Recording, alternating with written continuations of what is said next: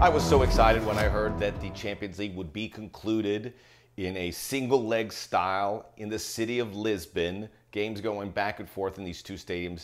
Perfect host, perfect host, perfect size stadiums. But I was also ruining the conclusion, which happened on Sunday, Bayern Munich winning it. And now I'm sad.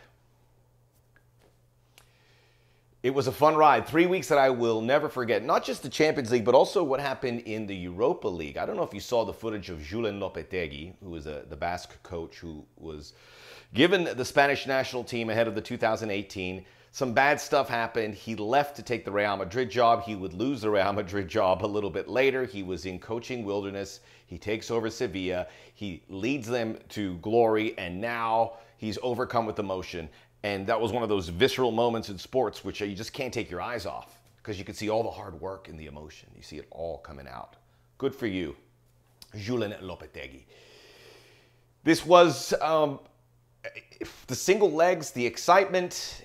I'm going to go through the things that stood out about the Champions League. I would, I, I tongue in cheek said maybe they should go to the single leg format moving forward.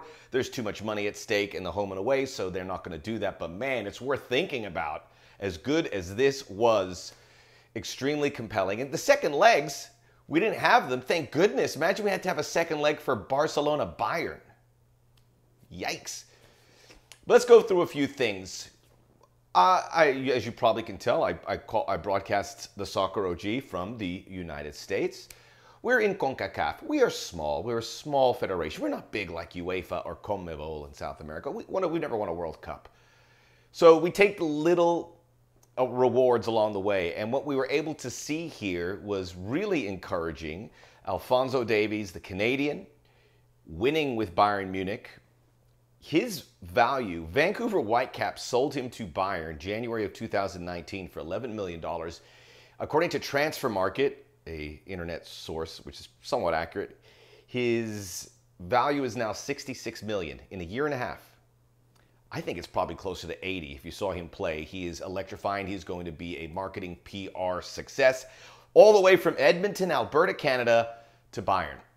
Tyler Adams of the United States scored a big goal to help knock out Atletico Madrid. He played for Leipzig and he got to play in a Champions League semifinal. Keylor Navas of Costa Rica played in the Champions League final for PSG as a goalkeeper, although he, ha- he holds a very high mark. You can even throw Hector Herrera of Mexico making it to the quarterfinals and starting for Atletico Madrid. So great news for CONCACAF. We're very proud of everyone. As for the tournament, several talking points to come out of. The Spanish league exposed a bit with Real Madrid getting bounced, Atletico getting bounced ahead of when they were supposed to, and then Barcelona just getting torn to shreds. You know, we talked about that. 8 to 2 they lost to Bayern Munich, and it exposed that club for all the bad business it has done. In fact, Philippe Coutinho, who won a Champions League now with Bayern, who was on loan from Barcelona, because he won that with Bayern, Barcelona have to pay Liverpool, which is the club he came from, an extra $5 million. And now Coutinho is going back to Barcelona. That's bad business. Stay away from Barcelona. Lionel Messi, get the heck out of there. So that was a big story. I don't want to do sweeping comments about leagues. But after the English League had two Champions League finalists and two Europa League finalists last season, zero Champions League finalists, zero Europa League finalists. They got Manchester United in the Europa League semis. They didn't have any semifinalists. I could argue about this, but prior to 2019, when Liverpool beat Spurs, Liverpool made the final and lost in 2018. You have to go all the way back to 2012 when Chelsea won it to find English success. When you're calling yourself the best league in the world, you can't just disappear like this. Your clubs have to show up, and they did not. So I'm a little worried about that. And you look at what happened with the French league, they get two semi-finalists, and they didn't even play. They didn't have their, their restart for the season. And the Germans certainly put their hand up as well, two semi-finalists too. So the English league, work to do.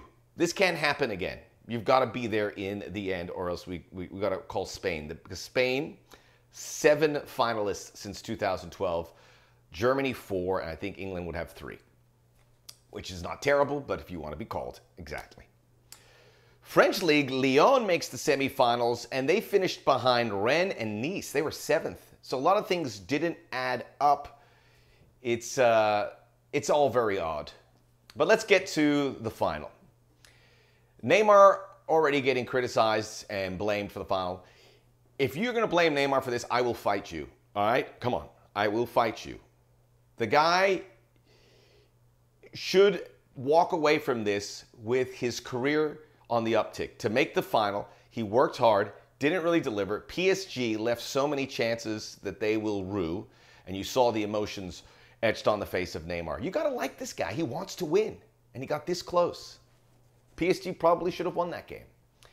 Bayern, who were unstoppable, in fact, since the restart, 15 games, 15 wins, zero ties, zero losses. In the Bundesliga, the German Cup, and here in the Champions League. They were they had no resistance until they ran into the Parisians. So it was a very it was a good final and a nice bow on it. And I can't I, I have to wait till October, but uh, we shall see. I'll, I'll leave this as well. We thought officiating would be better in the era of VAR.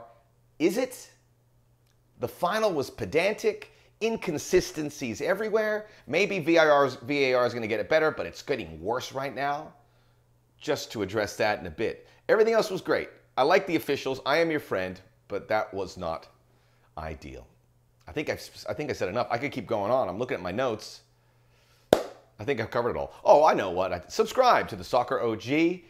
This is where you hear things first.